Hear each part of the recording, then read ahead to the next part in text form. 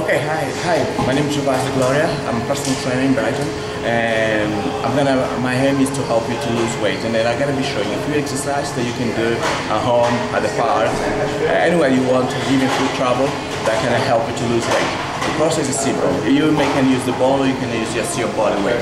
So first, I'm gonna show you how you can do this exercise by using your body weight, and then I'm gonna show you how you can use the ball to intensify the exercise.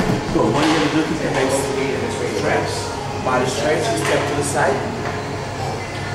As you step to the side, put one leg bend and the other leg straight. Side, so you're gonna work on the thighs and this muscle. If ah.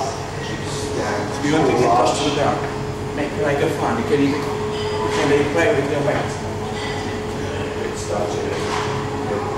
You for 20 reps. And now I'm going to show you another version of the same exercise that you can do, which is a simple process. You can use the ball. Touch the ball, back, step, still the leg at same position, back, back, back, back. Once you finish, another way that you can use is this exercise, you find that one. It's too intensive. You can use simple roll to the side, bring the leg back, roll to the other side, roll. You can use at your own pace. Depending on your level of fitness and your flexibility.